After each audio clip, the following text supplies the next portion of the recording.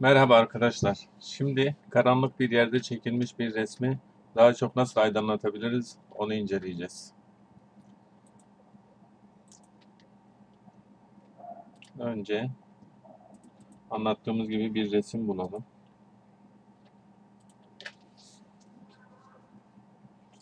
Resmi tam ekrana sığdıralım.